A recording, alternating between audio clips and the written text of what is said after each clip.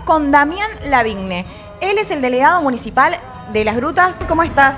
Hola, buenas noches para ustedes y para toda la teleaudiencia. Eh, bien, bien, tranquilo. La verdad que sí, 15 días llevamos recién en gestión, así que bueno, acomodándonos y, y disfrutando también un poco ahí de la fiesta. ¿Cómo te sentiste en tu primera fiesta grande? Va, digo, primera fiesta grande, yo aclaro, Damián es bombero, estuvo a cargo del cuerpo de bomberos y está a cargo de muchísimas fiestas, la seguridad y todo lo que es logística, así que para vos esto no es nada nuevo. No, no, no es nada nuevo desde ese aspecto, pero bueno, sí, sí es algo nuevo, digamos, en, en la gestión y por ahí otro tipo de responsabilidad, pero la verdad que contento, una fiesta que, que hacía muchos años no se hacía en esta dimensión. eh, y bueno, por suerte ha salido bien y la gente ha disfrutado. eh, también tenemos la parte del patio de comida y todo que, que sé que ha trabajado muy bien, así que también contentos por ello y bueno, ya la última noche a, a poder disfrutarla. Muy bien, es real, la fiesta es enorme. Hacía rato que no teníamos una convocatoria, los shows que tuvimos en temporada, pero realmente este año Las Grutas explotó y vamos por muchos años más. Sí, bueno, la verdad que venimos de una temporada histórica.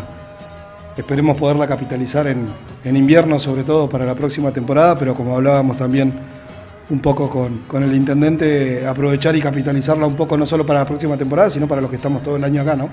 No solamente prepararnos para la próxima temporada, sino poder eh, aprovechar todos los recursos y, poder ponerse a tono en lo que es el invierno también.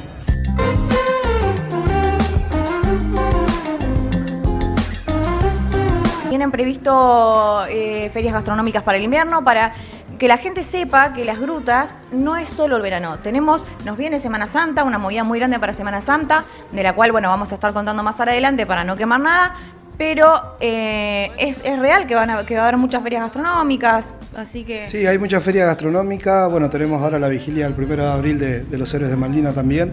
Eh, posterior en Semana Santa lo que es ferias gastronómicas.